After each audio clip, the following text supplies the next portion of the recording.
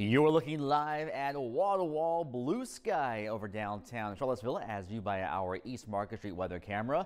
After a cold start, we are seeing a southwest wind giving us a boost in temperature here at the midday hour. Hello, I'm Storm Team 29 meteorologist Josh Fitzpatrick. Now this morning, as expected, we had a cold start with temperatures in the 30s, areas of frost thanks to Mark Cronin in the Earlysville area of Albemarle County showing that light frost on the grass. But now the next big thing I'm tracking from the Weather Center is going to be a more summer-like outlook but not until the last few days of April. So as we wind down the month, we're going to have daytime highs back in the 80s and overnight lows back in the 60s. But until then, we're going to have a brief cool down toward the end of the week. In that first forecast for this Tuesday, daytime highs warmer than yesterday, back to near average for this time of the year. We should top out in the low to mid 70s. A few wispy, high, thin clouds kind of blocking our blue sky later on today. Should make for a nice sunset during the 7 o'clock hour. And by the way, we have the full moon tonight, and we'll start to see some clouds begin to increase, especially after sunset as the clouds begin to get thicker.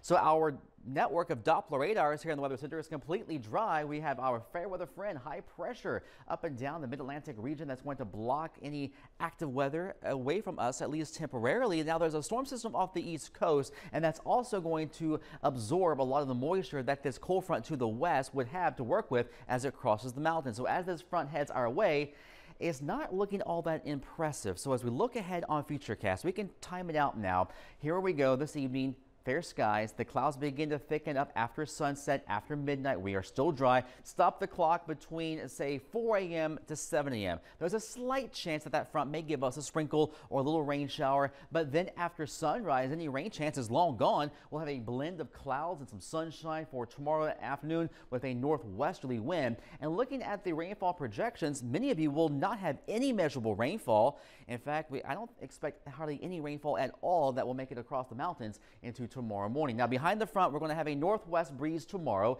and eventually that will give us a bit of a cooling trend, especially on Thursday and Friday with highs in the 60s, so a little bit below average. Here comes a warm front on Saturday barely a chance for rainfall. Uh, really, I'm not impressed with our rain chances for the rest of April. Your forecast for today in your Storm Team 29 report, mostly sunny, a mild breeze in the low to mid 70s. Tonight, increasing clouds. Hopefully, we'll get a glimpse of the full moon.